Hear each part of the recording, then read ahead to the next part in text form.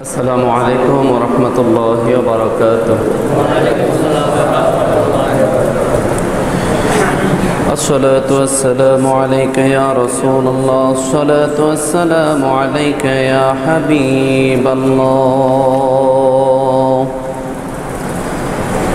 الصلاة والسلام عليك يا شفيع المذنبين. الصلاة والسلام عليك يا رحمة للعالمين. الحمد لله الحمد لله رب العالمين.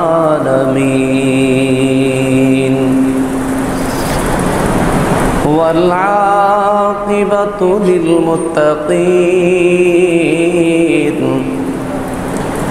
الصلاة والسلام على من كان نبيا وآدم.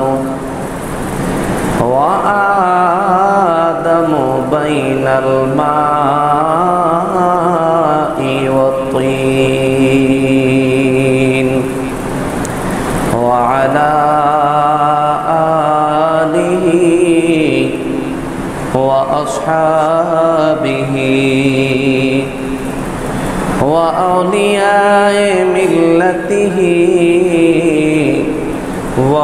علماء اہل سنتی اجمعین۔ اما بعد فاعوذ باللہ من الشیطان الرجیم۔ بسم اللہ۔ الرحمن الرحيم. ومن آياته أن خلق لكم من أنفسكم أزواجا لتسكنوا إليها. لتسكنوا إليها وجعل بينكم مودة ورحمة. إن في ذلك لآيات لقوم يتفكرون. فقال رسول الله صلى الله عليه وسلم لا تنكح الأيم حتى تستأمر. ولا تنكح البكر حتى تستأذن. قالوا يا رسول الله صلى الله عليه وسلم وكيف إذنها؟ قال أن تسكت رواه مسلم. فقال الله تعالى في شان حبيبه ومحبوبه ومعشوقه مخبرا وآمرا. إن الله وملائكته يصلون على النبي. يا أيها الذين آمنوا صلوا عليه وسلموا تسليما.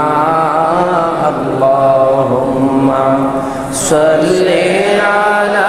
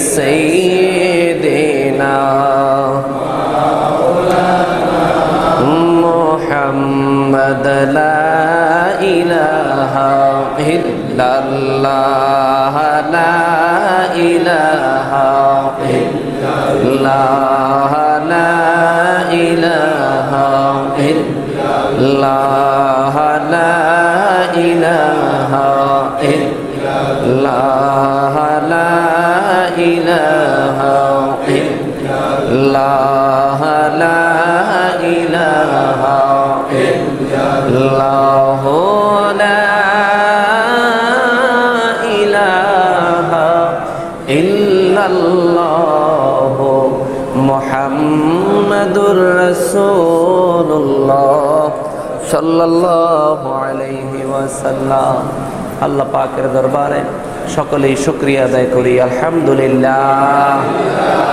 আর মহব্বতে আরও একবার শুক্রিয়া আদায় করি যে রবুল আলমিন আমাদেরকে পবিত্র ঈদুল আজহার পরের এই জুমহার নামাজে আমাদেরকে নামাজ আদায় করার নিয়তে মসজিদে আসার, অবস্থান করার যে তৌফিক আল্লাহ আমাদেরকে দান করেছেন, তার জন্য উচ্চ আওয়াজে আরও একবার বলি, আলহামদুলিল্লাহ।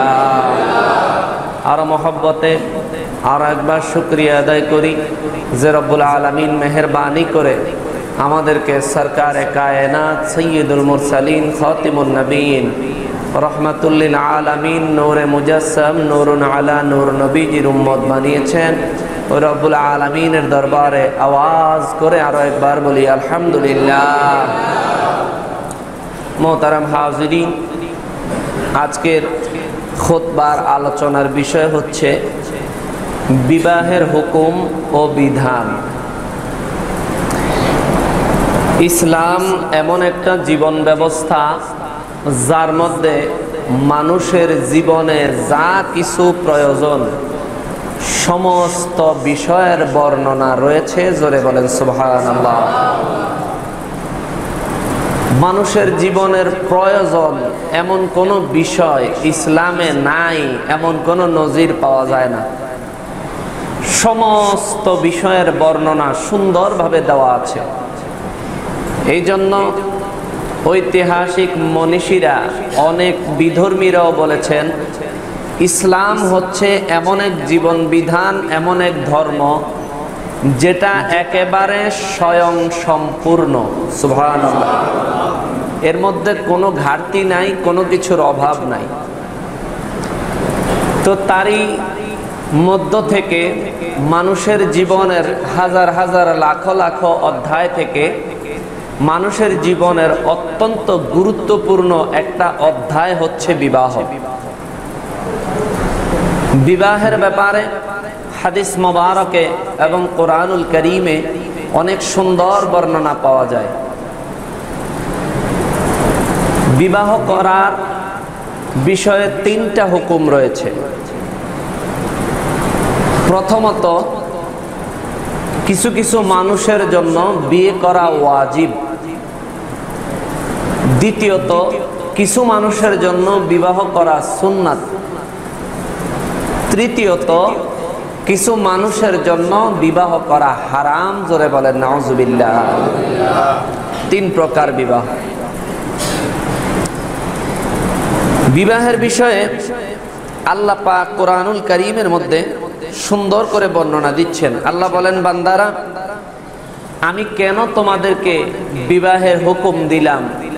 সেটা তোমরা জেনে নাও। কোরআনুল করিমে সুরা রুমের একুশ নম্বর আয়াতে আল্লাহ বলেন বিসমিল্লাহির রহমানির রহিম ومن آياته أن خلق لكم من أنفسكم أزواجا لتسكنوا إليها إليها وجعل بينكم مودة ورحمة إن في ذلك لآيات لقوم يتفكرون আওয়াজ করে বলেন সুবহানাল্লাহ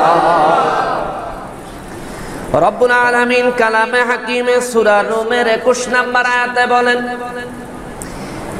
বান্দারা রে আল্লাহর বহু নিদর্শন আমার আল্লাহ আমি আল্লাহ তোমাদের জন্য দিয়ে রাখছি তার মধ্যে বিশেষ একটা নিদর্শন হলো, আমি আল্লাহ তোমাদের থেকেই তোমাদের জন্য তোমাদের স্ত্রী বানাইলাম। তোমাদের থেকে তোমাদের স্ত্রীদেরকে, সহধর্মিনীদেরকে আমি আল্লাহ বানাইলাম। আল্লাহ গো, কেন বানাইলেন? আল্লাহ বলেন, আমি বানাইলাম তার কারণ হলো তোমরা যাতে করে একে অপরের থেকে, একে অপরের থেকে শান্তি এবং ভালোবাসা পাইতে পারো। সুবহান আল্লাহ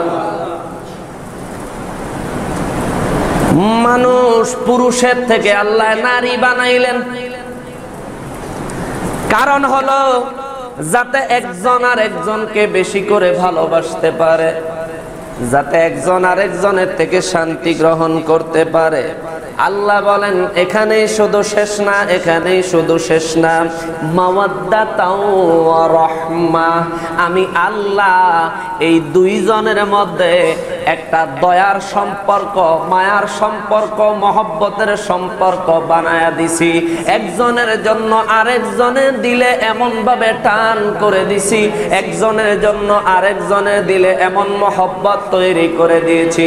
যে কোনো মুহূর্তে স্বামী স্ত্রীর জন্য, স্ত্রী তার স্বামীর জন্য জীবন দিতে প্রস্তুত। জোরে বলেন সোহান আল্লাহ এমন দয়া, এমন মায়া আমি আল্লাহ সৃষ্টি করে দিলাম। তার কারণ জাননি। কারণ হইল, এটাও আমি আল্লাহর বড় একটা নিদর্শন।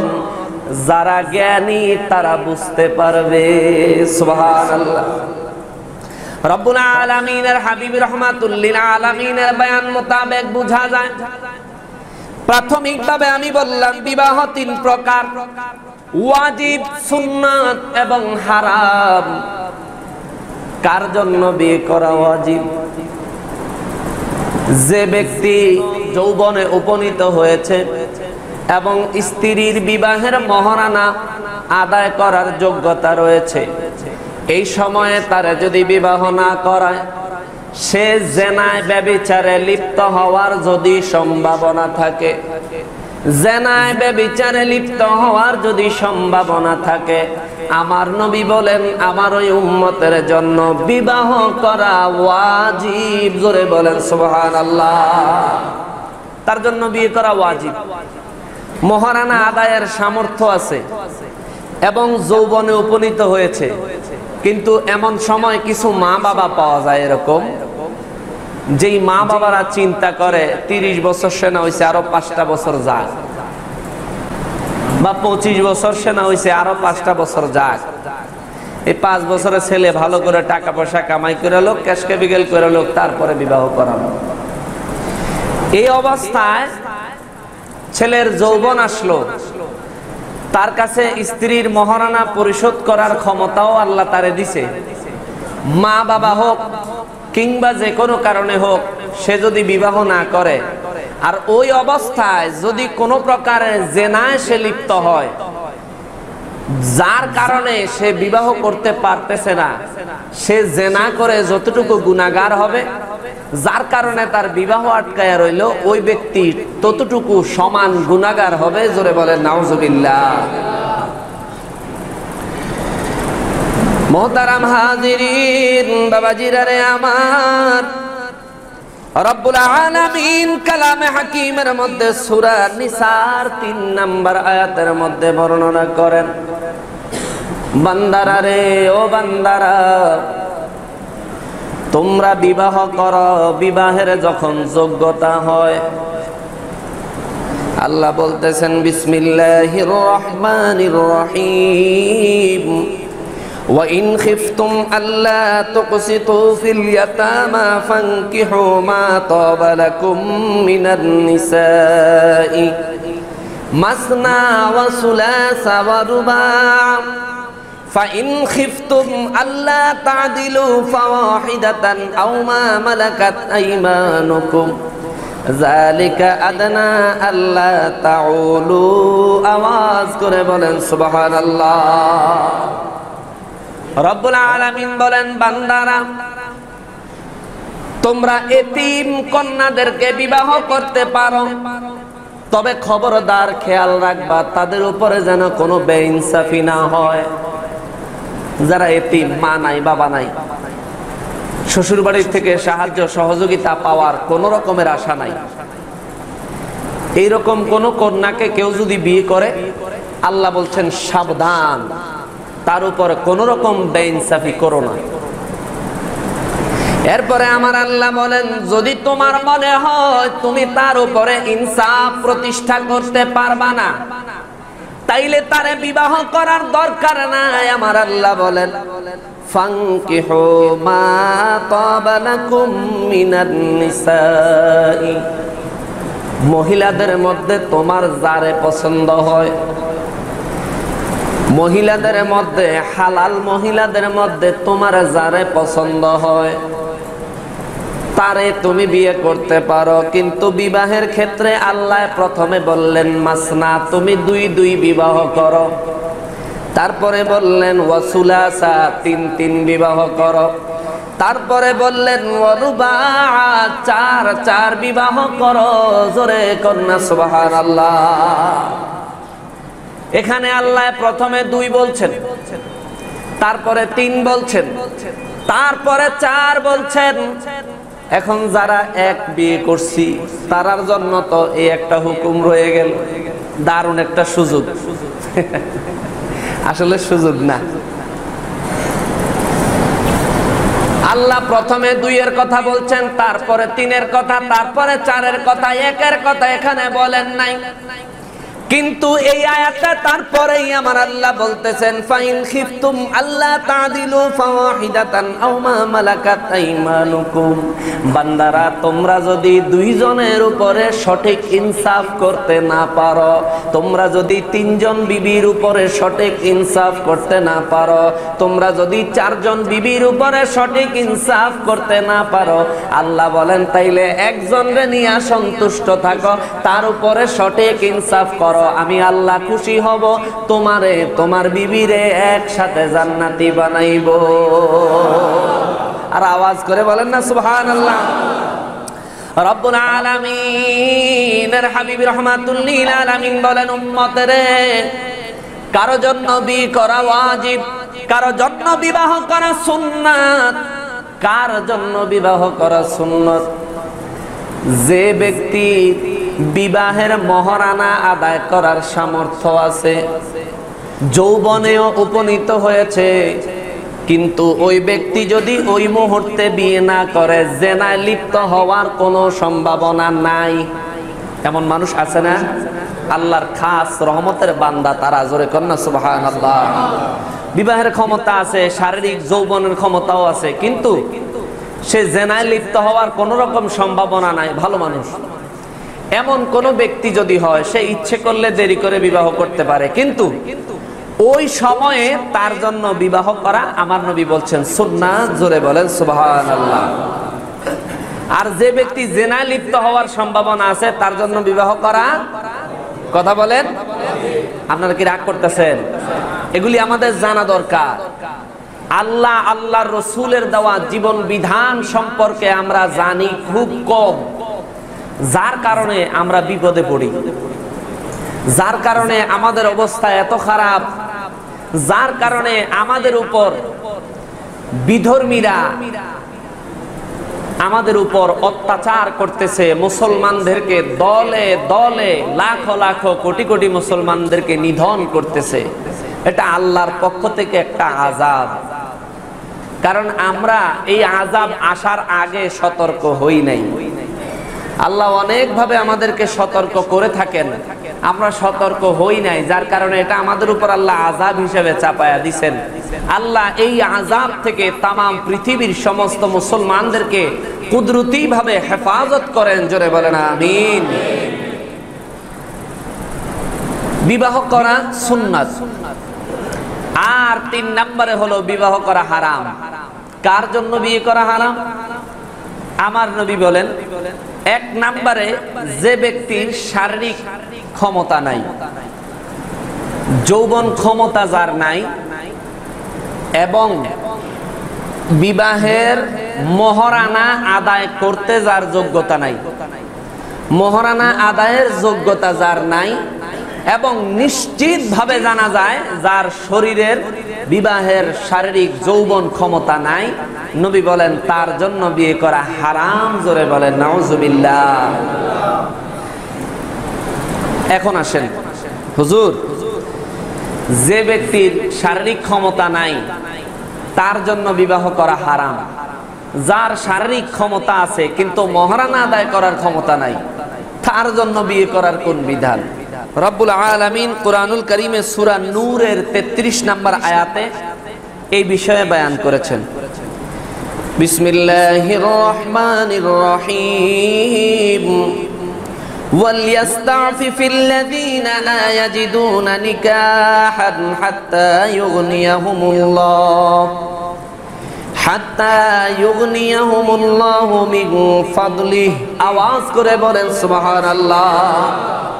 আল্লাহ বলেন, বান্দারা রে, ও বান্দারা, যাদের বিবাহ করার সামর্থ্য হয় নাই, অর্থাৎ স্ত্রীর মহারানা দেওয়ার সামর্থ্য যার হয় নাই, আল্লাহ বলেন বান্দারে তুমি তাড়াহুড়া করিও না। ও বান্দা, তুমি ধৈর্যচ্যুত হইও না। তুমি ধৈর্য ধারণ করো। আল্লাহ কতদিন ধৈর্য ধারণ করব? আমার আল্লাহ বলেন, বান্দারে, যতদিন পর্যন্ত আমি আল্লাহ তোমার হালাল ভাবে তোমার স্ত্রীর মহারানা আদায় করার যোগ্যতা দান না করব। ততদিন পর্যন্ত তুমি ধৈর্য ধরো। তুমি যদি ধৈর্য ধরো, আমি আল্লাহ তোমার এই ধৈর্যের বিনিময়ে রহমত দান করব। বলবেন, হুজুর, ছেলে তো যুবক হয়ে গেছে। ডান দিকে বাম দিকে নজর দেয়। রিক্সায় চড়ে, পার্কে ঘুরে আরও কত রকমের ঘটনা দেখা যায়।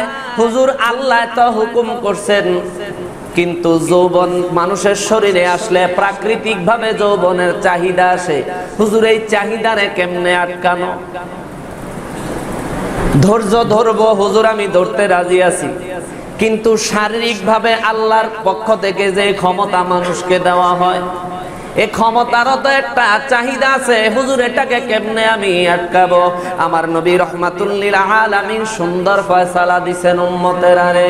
ও উম্মতেরা, যাদের শরীরে যৌবন চলে এসেছে, কিন্তু মহারানা আদায়ের যোগ্যতা হয় নাই। উম্মত, তুমি ধৈর্য ধারণ করো। সাহাবায়ে কেরাম বলেন, নবী গো, কেমনে ধৈর্য ধারণ করব? আমার নবী বুখারী শরীফের দ্বিতীয় খণ্ডের 758 পৃষ্ঠা, হাদিস নাম্বার 4845 মুসলিম শরীফের চোদ্দশো নাম্বার হাদিস এ হাদিস মোবারকে আমার নবী ফর্মুলা বলে দেয় উম্মত যদি বিবাহের যোগ্যতা না হয় তাইলে কি করবা শোনো فقال رسول الله صلى الله عليه وسلم يا معشر الشباب من استطاع منكم الباءة فليتزوج فإنه أغض للبصر وأحسن للفرج ومن لم يستطع فعليه بالصوم فإنه له وجاء متفق عليه محبة আওয়াজ করে বলেন সুবহান আল্লাহ নবীজি রহমাতুল্লিল আলামিন বলেন উম্মতের যার বিবাহ করার সামর্থ্য হয়েছে তুমি বিবাহ করো নবী গো, কেন বিবাহ করব? আমার নবী বলেন দুই কারণে। এক নম্বরে, বিবাহ মানুষের চোখের নজরকে নিচু করে দেয়। আরও জোরে কন্যা সোহান আল্লাহ মানুষের চোখের নজরকে সংরক্ষণ করে। দুই নাম্বারে, বিবাহ মানুষের লজ্জাস্থানকে হেফাজত করে। উম্মতরে শোনো, যে ব্যক্তি তার জবান এবং তার লজ্জাস্থানের জিম্মাদারি নিবে। আল্লাহর হুকুম মোতাবেক, রসুলে পাকের দেখানো নিয়ম মোতাবেক যে তার জবানকে চালাবে এবং লজ্জাস্থানকে ব্যবহার করবে। আমি রহমাতুল্লিন আলামিন বললাম, আমার ওই উম্মতের জন্য জান্নাতের জাবিনদার আমি নিজে হব। রহমাতুল্লিল আলামিন বলেন এই দুই কারণে বিবাহ করিও। যদি তোমার বিবাহের সামর্থ্য না হয়, আল্লাহ বলেছেন, ধৈর্য ধরো ধৈর্য ধরো ধৈর্য ধরো। কেমনে ধৈর্য ধরবা? আমি নবী ফর্মুলা বাতায়া দিচ্ছি, শোনো। তুমি বেশি বেশি রোজা রাখো। সুবহানাল্লাহ। বেশি বেশি রোজা রাখো নবী গো রোজা রাখলে কি হবে? আমার নবী বুখারী শরীফে চার হাজার আটশো পঁচাত্তর নম্বর হাদিস মোবারকে বলেন রোজা হলো এমন একটা আমল, এমন একটা ইবাদত রোজা মানুষের শরীরের যৌন চাহিদাকে নিবারণ করে দেয়। আরও জোরে কন্যা সুবাহান আল্লাহ বাবাজিরা রে, মায়ার নবী রহমাতুল্লিল আলামিনকে সাহাবায়ে কেরাম বলেন, হুজুর আলামিন কেমন নারীকে বিবাহ করা উত্তম? কন্যা আরেক হাদিস মধ্যে বলেন হাদিস কানা মুসলিম শরীফের 1466 নাম্বার হাদিস। এ হাদিস মোবারকে হযরতে আবু হুরায়রা রাদিয়াল্লাহু তাআলা আনহু থেকে বর্ণিত এ হাদিস মোবারকে মায়ের নবী বলেন ফান আবি হুরায়রা রাদিয়াল্লাহু তাআলা আনহু আন্না রাসূলুল্লাহ সাল্লাল্লাহু আলাইহি ওয়াসাল্লাম قال تنكح المرأة لأربعين لمالها ولحسبها ولجمالها ولدينها ফাজফার বিজাতিদ্দিন তারিবাত ইয়াদাকা মুত্তাফাকুন আলাই আওয়াজ করে বলেন, সুবহানাল্লাহ। নবীজি রহমাতুল লিল আলামিন এই হাদিস মোবারকে বলেন, মানুষ বিবাহ করার সময় চারটা জিনিসের দিকে খেয়াল করে। কিছু মানুষ বিবাহ করানোর সময় খেয়াল করেন লেমালিহা যেই মহিলারে বিবাহ করব তার বাবার সম্পদ কতটুকু আছে? আছেন এরকম মানুষ? যে মহিলাটা তার বাবার সম্পদ কি আছে বাবাই কি করে? কত বিঘা সম্পত্তির মালিক কয়টা বাড়ি গাড়ির মালিক? নবী বলেন কিছু মানুষ তার সম্পদের দিকে নজর করেন। দুই নম্বরে ওয়ালি হাসাবিহা কিছু মানুষ আছে, সম্পদের দিকে তাকায় না। তার বংশমর্যাদার দিকে তাকায়। চৌধুরী নাকি মিয়া বিভিন্ন রকমের বংশধরের দিকে তাকায়। আমার নবী রহমাতুল্লিল আলামিন বলেন কিছু মানুষ মালের দিকে, তার সম্পদের দিকে তাকায়, কিন্তু কিছু মানুষ তার বংশমর্যাদার দিকে তাকায়। তিন নাম্বার একটা জিনিস আছে, এইটার দিকে যুবকেরা বেশি তাকায়। নবী বলেন, তিন নাম্বারে কিছু মানুষ যে যাকে বিবাহ করবে, তার সৌন্দর্যের দিকে বেশি তাকায়। চার নাম্বারে মায়ের নবী রহমাতুল্লিল আলামিন বলেন, কিছু মানুষ, কিছু আল্লাহর বান্দা এমন আছে মেয়ে কালো হোক, সুন্দরী হোক, বংশমর্যাদা কম হোক বা বেশি হোক, তার বাবার সম্পদ কম হোক বা বেশি হোক, সেদিকে তাকায় না। কিছু মানুষ আছে তাকায়, মেয়েটা ধার্মিক কিনা? সোহান আল্লাহ কিছু মানুষ আছে তাকায়, মেয়েটা ধার্মিক কিনা? বিশেষ করে মুরব্বীরা যদি বিবাহের সম্বন্ধ ঠিক করে, তাইলে মুরব্বীরা তাকায় এই দিকে আগেরকার সময় বিবাহের জন্য মেয়ে দেখতে গেলে মেয়েরে সুরাকে রাত জিজ্ঞাসা করা হইতো। নামাজ কালামের বিষয়ে প্রশ্ন করা হইতো। ছোটখাটো, বিশেষ প্রয়োজনীয় টুকটাক মাসালাস মাসাইল সম্পর্কে জিজ্ঞাসা করা হইতো। এখন তো আর ওই দিন নাই। এখন তো মোবাইলে মোবাইলে সব কারবার শেষ। এরপরে বিবাহের একটা নিয়ম, রীতি আছে আমাদের দেশে, আমরা মোবাইলে যে বিবাহ করাই, মোবাইলে কবুল পড়াই। এইটাও শরীয়তে পরিপূর্ণ বিশুদ্ধ নিয়ম না। বিশুদ্ধ পদ্ধতি না।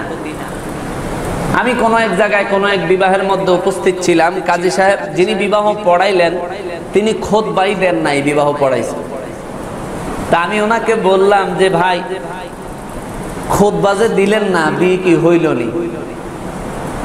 একে তো করাইলেন মোবাইলে, দ্বিতীয়ত দিলেন না খোদবা। বলে এটা তো শুধু তাদের দুইজনের কথা বলার বৈধতার জন্য করা হয়েছে। তো আমি বললাম, মোবাইলে বিবাহ এইভাবে করাইলে খোদবা ছাড়া কথা বলার বৈধতা আসে, এমন দলিলটা কোথায়? আমি তো আবার একটু দলিল টলিল খুঁজুন না, মানুষ। বেচারার এই কথা কইছি, পরে তাইলে হুজুর এখন কি করুম? আমি বললাম, তাইলে আবার খোদবা দিয়ে বিয়ে পড়া খেয়াল রাখবেন, আমরা কিন্তু বিয়ে বাড়িতে বিয়ের আনন্দ উল্লাস নিয়ে মেতে থাকি। কিন্তু আমরা বিবাহটা সঠিকভাবে হচ্ছে কিনা আমরা সেই দিকে খেয়াল খুব কম করি। সেদিকে খেয়ালটা মুরব্বীরা বা গার্ডিয়ানরাই করে থাকেন। বিশেষ করে মুরব্বীরা যদি কোনো বিবাহের সিদ্ধান্ত নেয়, ব্যবস্থা করে, তাইলে মুরব্বীরা মেয়েরে গিয়ে এগুলি সব জিজ্ঞাসা করে। কিন্তু এখনকার সময় তো মুরব্বীদের দেখার সময় নাই। রাস্তার থেকে যারা দেখা যায় যারা বাসায় গিয়া কয়, দেখাইছি অমুক বাড়ি, আপনারা গিয়া খবর লো আমার পছন্দ। আছে না এরকম? আসেনি? এই যে দেখছেন, আসল কথার সময় কথা কয় না, আসেনি? এরকম কথাবার্তা কইলে না ভালো লাগে নাহলে তো মনে হয় যেন আমি কেমন কেমন জানি কইতাছি। তাছাড়া এমনও কিছু মানুষ আছে বাবায় বা দাদায় বা নানায় মুরব্বীরা যদি একটু গায়ের রংটা একটু শ্যামলা আর কি, এমনি নামাজ কালাম, এবাদত বন্দিগি, দোয়া কালামে, সব দিকে মাসাল্লাহ ভালো আছে। বাবায় অথবা দাদায় মুরব্বীরা যদি কয় বেলে, বাবারে আমি দেখছি আমার খুব পছন্দ হয়েছে, তুই কর। তাইলে পোলা এমনও পোলা আছে, কয় বেলে, এই কাইল্লা বেড়ি আমি করতাম না, দরকার হলে আমনে করেন গা। এমনও কিছু ছেলে পেলে পাওয়া যায়।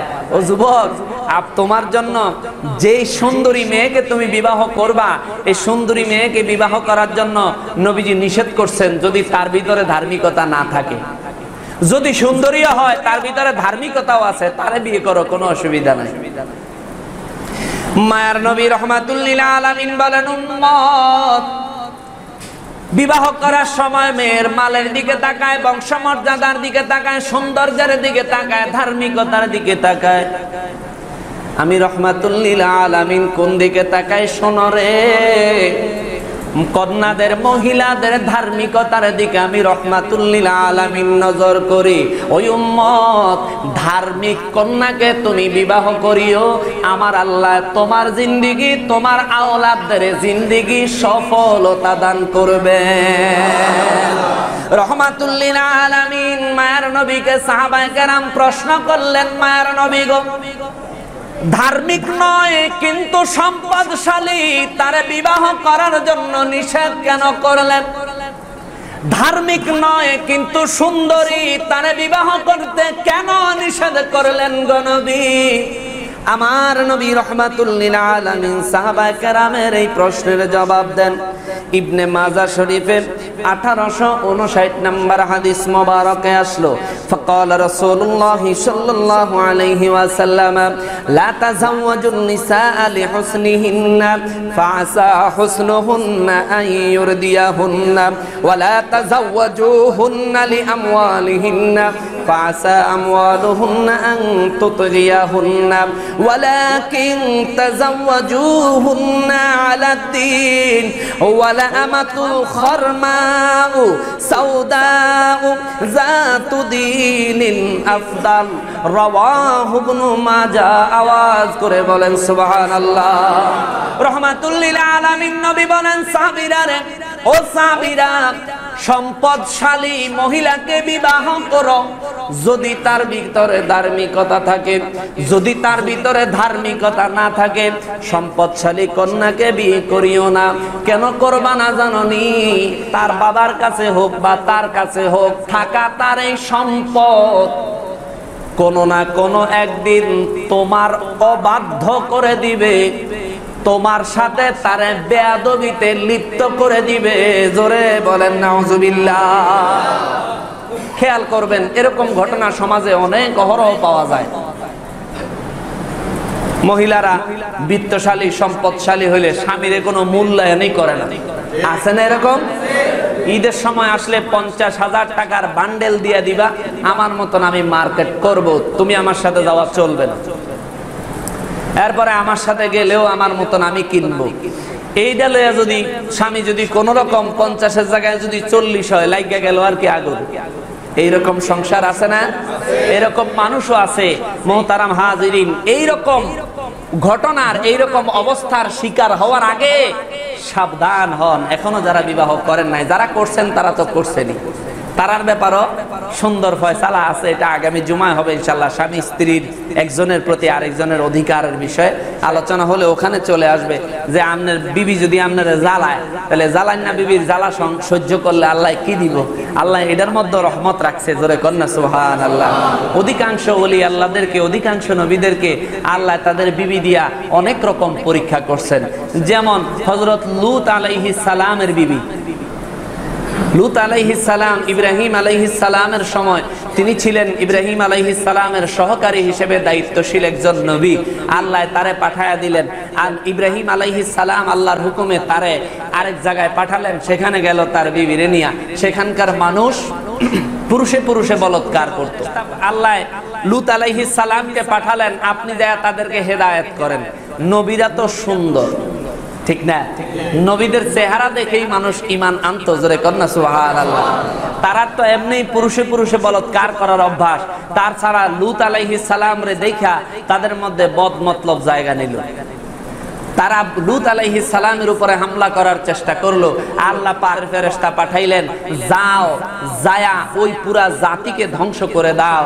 লুত আলাইহিস সালামকে ফেরেশতারা এসে বলল, হুজুর, আপনি আপনার পরিবার, আপনার উম্মতদেরকে নিয়ে চলে যান। আপনি শুধু সামনের দিকে যাইবেন, পিছনের দিকে তাকায়েন না। পিছনে কি হইতাছে তাকায়েন না। লুত আলাইহিস সালাম বললেন, ঠিক আছে। রওনা দিলেন, ওনার বিবিরেও বললেন, সবাইরে বললেন, খবরদার, কেউ পিছনে তাকাইবা না, আল্লাহর গজব হচ্ছে। আল্লাহর গজব হচ্ছে, পিছনে কেউ তাকাইবা না, চলতেছেন। এক পাহাড়ের পাদদেশ দিয়ে যখন উঠতেছিলেন, লুত আলাইহিস সালামের বিবি, সে ছিল অবাধ্য। এতে কয় দৌড় লুতের কথা কেটা শুনে? আমি একটু পিছের দিকে ছায়া দেখি কি হইতেছে। ওই মহিলা ওখান থেকে পিছনের দিকে তাকাইছে, সাথে সাথে জিন্দা মানুষ লুত আলাইহিস সালামের স্ত্রী একেবারে পাথরে রূপান্তরিত হয়ে গেছে, জোরে কর, নাউজুবিল্লাহ। আইজো! লুত আলাইহিস সালামের স্ত্রী ওই পাথর অবস্থায় এখনও দাঁড়ানো আছে। শহীদ হজরত আল্লামা নুরুল ইসলাম ফারুকি রহমতুল্লাহ আলাই হুজুর, তিনি একটা কাফেলা অনুষ্ঠান টেলিভিশনে দেখাতেন চ্যানেল আইতে ওই কাফেলা অনুষ্ঠান ইন্টারনেটে পাওয়া যায়। ওনার ওই অনুষ্ঠান থেকে আপনারা দেখতে পারবেন, উনি ওই লুত আলাইহিস সালামের স্ত্রীর ভিডিওটা উনি টেলিভিশনে দেখাইছিলেন, ওইটা ইন্টারনেটে পাওয়া যায়, ইউটিউবে পাওয়া যায়, দেখতে পারবেন। তো মোহতারাম হাজরিন, বিবি যদি অবাধ্য হয় তাইলে তার জিন্দিগি জ্বালার কোনো শেষ নাই। সারাদিন পরিশ্রম করে, কষ্ট করে বাড়ি ঘরে যায় ঘরের মধ্যে যদি একটু শান্তি পাওয়া যায়, সারাদিনের পরিশ্রম, কষ্ট কিন্তু ভুলে যায়। আর ঘরে যায় যদি আরও জ্বালা শুরু হয় তাহলে সারাদিনের কষ্ট দ্বিগুণ হয়ে শরীরে দেখা দেয়, তখন মন মেজাজ আর ঠিকঠাক থাকে না। এই জন্য নবী বলেন, উম্মত, বিবাহ করার আগে সম্পদশালী নারীকে বিয়ে করো, নিষেধ নাই। যদি তার মধ্যে ধার্মিকতা থাকে যার মধ্যে ধার্মিকতা আছে, সে কখনোই সম্পদের বাহাদুরিতে স্বামীর সাথে বেয়াদবি করবে না। নবীজি রহমাতুল্লিল আলামিন আরও বলেন সাহাবীরা ও সাহাবীরা, সুন্দরী নারীকে বিয়ে করো যদি তার মধ্যে ধার্মিকতা থাকে। যদি ধার্মিকতা না থাকে, তারে বিয়ে করিও না কেন গো নবী? সুন্দরী নারী, ধার্মিকতা না থাকলে বিয়ে করব না কেন? আমার নবী বলেন, কারণ হলো তার সৌন্দর্য এখন আছে, কিছুদিন পরে শেষ হইয়া যাবে। তার ভিতরে যদি ধার্মিকতা থাকে, বিবাহের আগে থেকে শুরু করে কবর পর্যন্ত তার এই ধার্মিকতা থাকবে। তার ধার্মিকতার কারণে তোমার ফ্যামিলিতে, তোমার সংসারে, তোমার পরিবারের উপর আল্লাহর রহমত নামবে। তার ধার্মিকতার কারণে তোমার সন্তান নেক সন্তান হবে। তার ধার্মিকতার কারণে তুমি অনেক অন্যায় কাজ থেকে বেঁচে থাকতে পারবা। তার ধার্মিকতার কারণে তোমার সন্তানেরা দিনী আলেম শিক্ষা করবে। তার ধার্মিকতার কারণে তোমার সন্তানেরা ধার্মিক হবে। জোরে বলেন, সুবহানাল্লাহ। রহমাতুল্লিল আলামিন, মায়ের নবী বলেন সাবিরা রে, ও সাবিরা সম্পদশালী সম্পদশালী ও ধার্মিক নয়। এমন নারীকে বিয়ে করার চাইতে সুন্দরী কিন্তু ধার্মিক নয়। এমন নারীকে বিবাহ করার চাইতে আমার নবী বলেন, ধার্মিক কান কাটা, ধার্মিক কালো ধার্মিক বাদী অথবা ধার্মিক দাসীও যদি হয়, ওই অধার্মিক সুন্দরী এবং সম্পদশালীর চাইতে তাদেরকে বিবাহ করা তোমার জন্য অতি উত্তম। সুবহান অতি উত্তম নবী বলছেন। যদি কান কাটা হয়, তার মধ্যে যদি ধার্মিকতা থাকে, তারে বিয়ে করা উত্তম, অধার্মিক সম্পদশালী আর সুন্দরীকে বিয়ে করার চাইতে আল্লাহ আমাদেরকে হেফাজত করেন, জোরে বলেন, আমিন। রহমাতুল্লিল আলামিন, মায়ের নবীজি আরও বলেন, উম্মতের আরে, উম্মত, মহিলাদের মধ্যে স্বাধীনা মহিলাদেরকে বিবাহ করো। এখন তো আর দাস প্রথা, দাসী প্রথা আমাদের বাংলাদেশে নাই। অন্য অন্য দেশে আছে কিনা আমার পুরোপুরি জানা নাই। আমাদের বাংলাদেশে দাস প্রথা নাই, দাস দাসীর প্রথা আগে ছিল। যারা দাসী ছিল, দাসীদেরকে তারা তাদের প্রয়োজন অনুযায়ী সব কাজে ব্যবহার করতে পারত। এখন তো আর নাই। নবীজি রহমাতুল্লিল আলামিন বলেন, তোমরা স্বাধীনা মহিলাদেরকে বিবাহ করো। কেন নবী? আমার নবী জবাব দেয়, ইবনে মাজা শরীফের আঠারোশো তেষট্টি নম্বর হাদিস। فعن انس رضي الله تعالى عنه انه سمع رسول رسول الله صلى الله عليه وسلم يقول من اراد ان يلقي الله طاهرا مطهرا فليتزوج الحرائر رواه ابن ماجه আওয়াজ করে বলেন সুবহানাল্লাহ রহমাতুল্লিল আলামিন মায়ের নবী বলেন, উম্মত, স্বাধীনা মহিলাদেরকে বিবাহ করো। স্বাধীনা ধার্মিক মহিলাদেরকে বিবাহ করো, মায়ের নবী গো। যদি স্বাধীনা এবং ধার্মিক নারীদেরকে আমরা বিবাহ করি তাইলে আল্লাহর পক্ষ থেকে আমরা কি পাবো? আমার নবী বলেন, আমার যেই উম্মত কোন স্বাধীনা ধার্মিক মহিলাকে বিবাহ করবে, আমার আল্লাহ তারে পুত পবিত্র করবে এবং আমার আল্লাহ নিজে তার সাথে সরাসরি সাক্ষাৎ করবে। আরও জোরে কন্যা সুবাহান আল্লাহ নবী রহমাতুল্লিল আলামিন আরও বলেন, উম্মতের বিবাহের বিধান, বিবাহের কথা, বিবাহের ব্যাপারে আমি নবী, তোমাদেরকে এত ভালো করে বলার কারণ হলো উম্মত, আমি রহমাতুল্লিল আলামিন, দান বাক্সগুলি ছেড়ে দেন, দান বাক্সগুলি ছেড়ে দেন। ইবনে মাজা শরীফের হাদিস আঠারোশো ছেচল্লিশ নম্বর হাদিস। এ হাদিস মোবারক মায়ের নবী বলেন, ফকল রসুল্লাহ সাল্লাহ আলহি আসাল্লাম আন্নিকাহ মিন সুন্নতি ফামাল্লাম ইয়ামাল বি সুন্নতি ফালাইসা মিন্নি, ওয়া তাযাওয়াজু ফা ইন্নি মুকাসিরুম বিকুমুল উমাম রাওয়াহু ইবনে মাজা আওয়াজ করে বলেন, সুবহানাল্লাহ নবীজি রহমাতুল্লিল আলামিন বলেন উম্মতরে এই উম্মত, আমি তোমাদেরকে বিবাহের ব্যাপারে তাগিদ দিই দিলাম, কারণ বিবাহ করা আমি নবীর সুন্নাত। সুবহানাল্লাহ বলেন। নবীজির সুন্নাত। এই সুন্নত তোমরা পালন করিও। যে ব্যক্তি আমি নবীর সুন্নতের, আমি নবীর এই সুন্নত নিয়ম অনুযায়ী যে ব্যক্তি পালন করে না, আমার নবী বলেন, তার সাথে আমি নবীর কোনো সম্পর্ক নাই। জোরে বলেন নওজুবিল্লাহ তার সাথে আমি নবীর কোনো সম্পর্ক নাই। এরপরে আমার নবী বলেন, ওই উম্মত, তোমাদেরকে কেন বিবাহের তাগিদ দেই শোনো? কেয়ামতের ময়দান যেদিন কায়েম হবে, ওই কেয়ামতের ময়দানে আমার উম্মত গুলিও দাঁড়াবে, অন্যান্য নবীদের উম্মতেরাও থাকবে। কিন্তু উম্মতের আরে তোমরা বিবাহ করলে, বিবাহের মাধ্যমে আমি নবীর উম্মতের সংখ্যা আস্তে আস্তে বাড়তে থাকবে। কেয়ামতের ময়দানে সমস্ত নবীদের উম্মত উম্মতদের থেকে আমি নবীর উম্মতের সংখ্যা যখন বেশি হবে, সব নবীদের উপরে আমি নবী সেই দিন গৌরব প্রকাশ করব। এই জন্য তোমরা বিয়ে করো এই জন্য তোমরা বিবাহ করো, তবে হালাল ভাবে করো হালাল ভাবে করো হালাল ভাবে করো। আমাদের সমাজে আমরা কিন্তু বিয়ে করি। অনেক মানুষ এমন আছে, মৌতের সময় হয়ে গেছে, কিন্তু বিবির মহারানা আদায় করে না। এমন মানুষ আছে। আবার কিছু কিছু সময় দেখা যায়, বাসর ঘরে স্বামী বিবিরে মহারানা মাফ করে দেয়। এটা খুব ভালো উত্তম পন্থা বিবি যদি মাফ করে দেয়। অসুবিধা নাই, কারণ আমার আল্লাহ কোরআনুল কারীমে সূরা নিসার 4 নম্বর আয়াতে আল্লাহ বলেন, ওয়া আতুন নিসা সাদাকাতিহিন্না নিহলাতান তিবনা লাকুম আন শাইইম মিনহু নাফসান, ফাকুলুহু হানিআম মারিআ। আওয়াজ করে বলেন, সুবহানাল্লাহ। আল্লাহ বলেন, স্ত্রীদের মহারানা তোমরা আদায় করে দাও, আদায় করে দাও। তাদের মহারানা তাদেরকে পরিপূর্ণ দিয়ে দাও।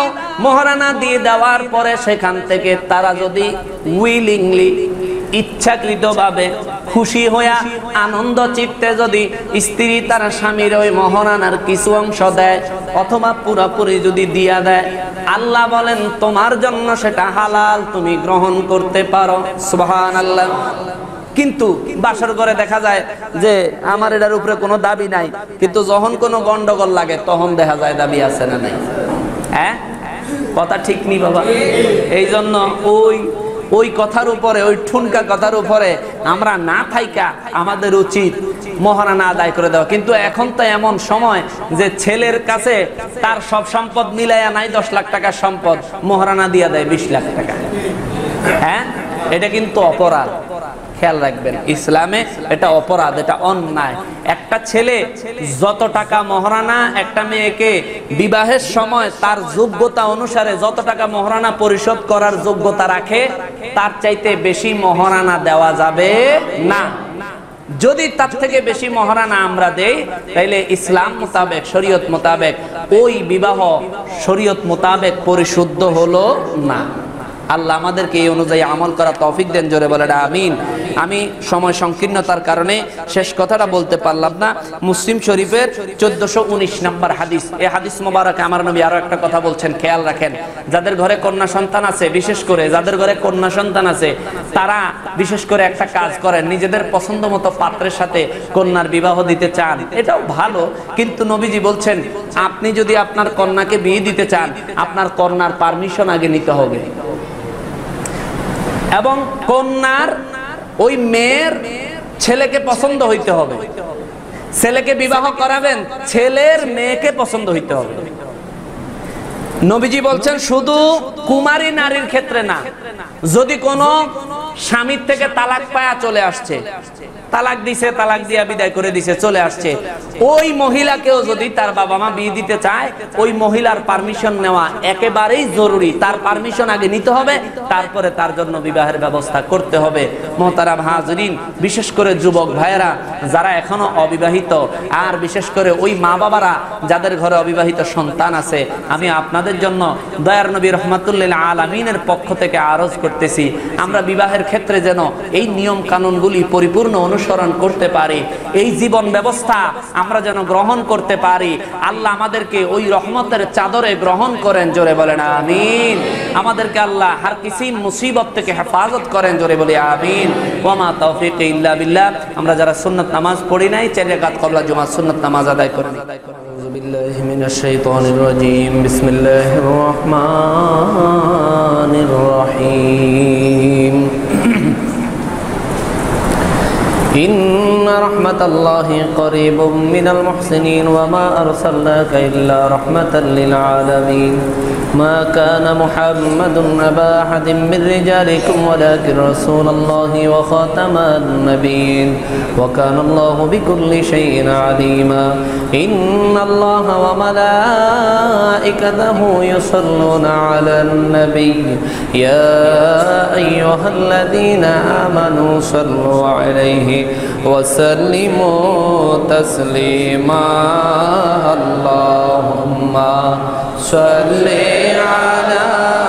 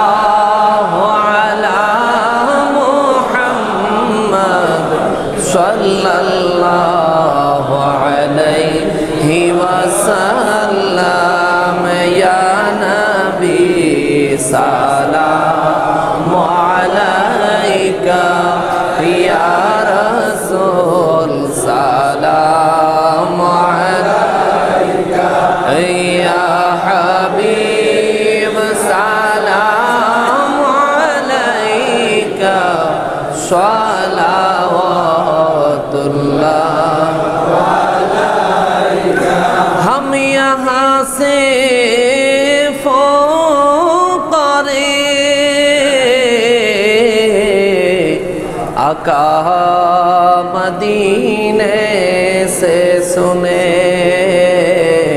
مصطفیٰ کی سامات پہ لاکھوں سلام مصطفیٰ جان رحمات پہ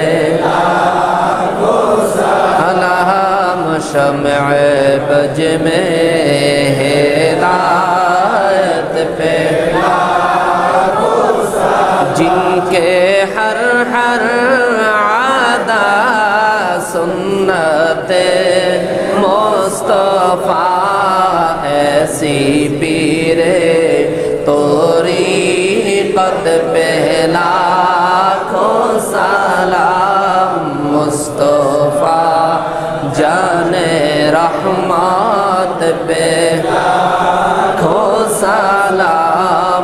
بج میں ہدایت پہ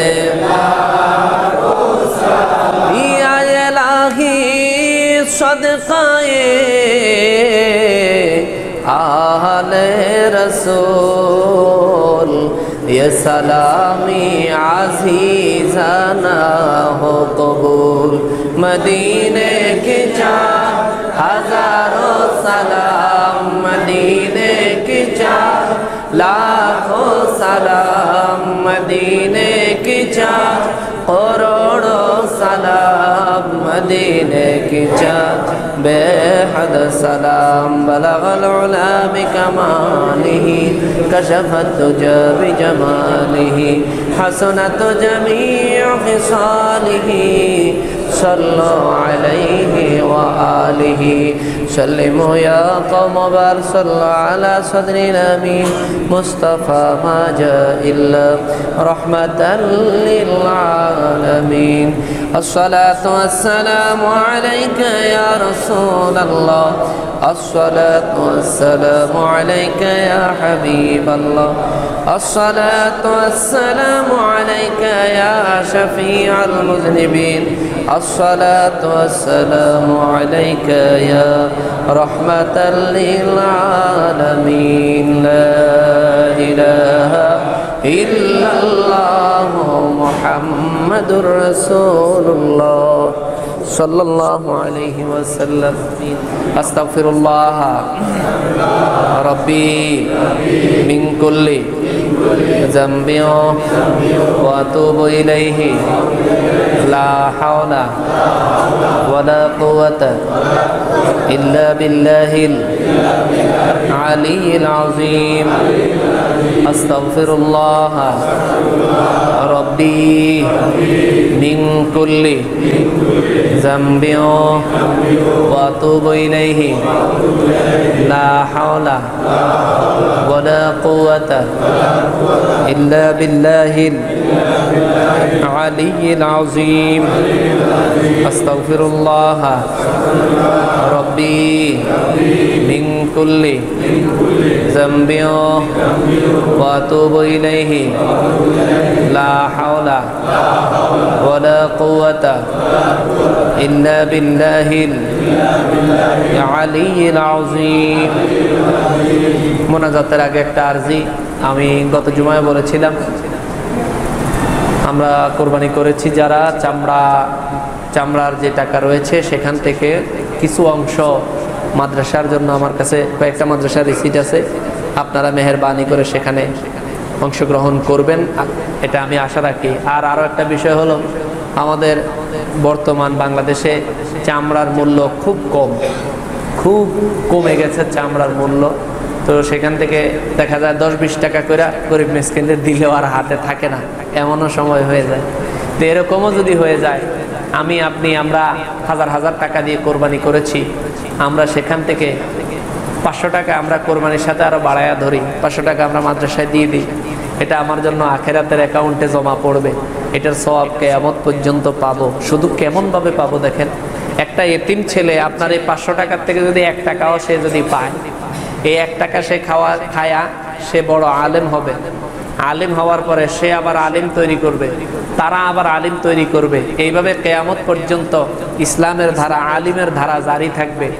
এই এক একজনের পরে এক একজন যে জেনারেশন আলিম তৈরি হচ্ছে, সবার এলেমের খেদমতের সবাব আমলের সবাব আপনার কবরে পাওয়া যাবে। সুবহান এই জন্য আমরা কোরবানি করেছি অনেক টাকা খরচ করেছি যদি সম্ভব হয় এদিনখানা মাদ্রাসার জন্য পাঁচশো টাকা হোক দুশো টাকা হোক একশো টাকা হোক সামর্থ্য অনুযায়ী আমরা যেন দান করি আল্লাহ কবুল করেন জোরে বলি আমিন আল্লাহ আমিন اللهم آمين الحمد لله رب العالمين والعاقبة للمتقين الصلاة والسلام على من كان نبيا وآدم بين الماء والطين.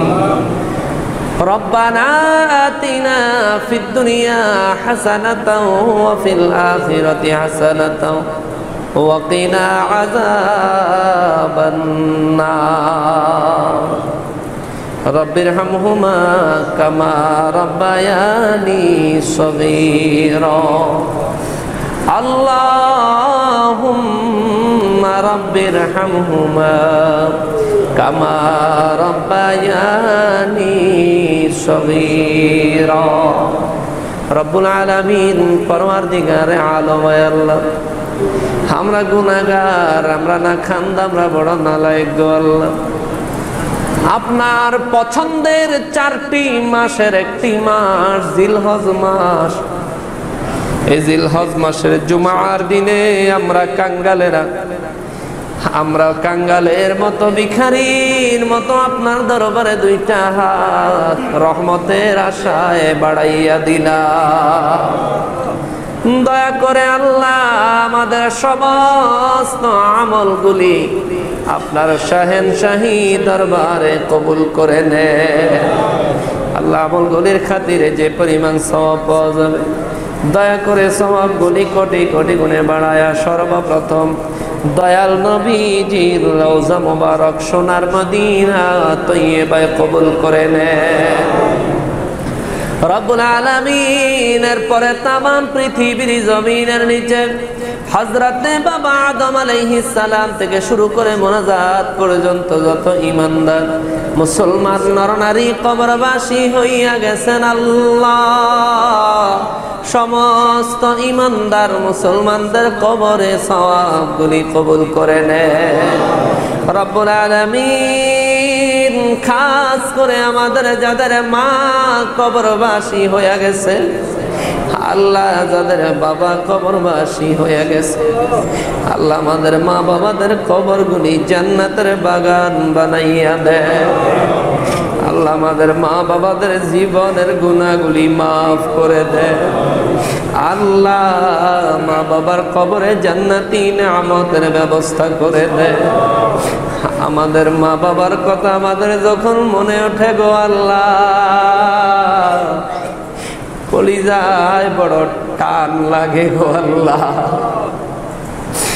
যার মানাই তার মতো জনম দুঃখী আর কেউ নাই রে আল্লাহ। যার বাবা নাই, তার মতো এতিম আর কেউ নাই রে আল্লাহ। আল্লাহ আমাদের যাদের মা বাবা পৃথিবী থেকে বিদায় নিয়ে খবরবাসী হয়ে গেছে। আমাদের মা বাবাদের কবরগুলি দয়া করে জান্নাতের টুকরা বানায়া দেয় আল্লাহ আমাদের জিন্দা মা বাবাদেরকে নেক হায়াত দারাজ করে দেন।